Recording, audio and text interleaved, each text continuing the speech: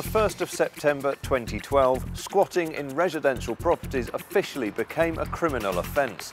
Perpetrators now face up to six months in jail and maximum £5,000 fine.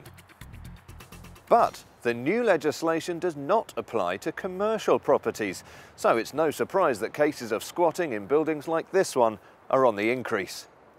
Even if the government extends the law to include commercial properties, owners can still be left with damage to property, plus the cost of repairs and clean-up operations. So as many squatters turn their attention to empty offices, industrial units and pubs, property owners are looking for stronger measures to prevent intruders.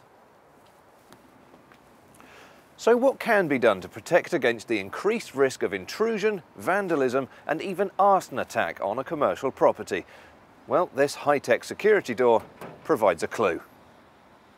Those who manage vacant or empty properties know there are specialist companies out there who know exactly what it takes to reduce the risk of intrusion.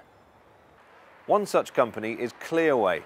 Clearway are experts in vacant property security. They can secure any commercial property quickly and efficiently, and they're the only company whose security products have been tested and approved by both the police and the insurance industry. But it's not just Clearway's rapid response and strong security products that make them the preferred choice of local authorities and property managers.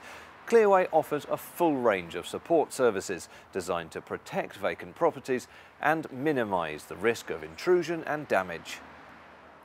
The new legislation may be good news for homeowners, but as a leading industry authority recently stated, it could have a depreciating effect on commercial property, as the law leaves these properties significantly more vulnerable and those who own or manage vacant properties are well advised to implement stronger measures to protect against the increased threat of intrusion and damage.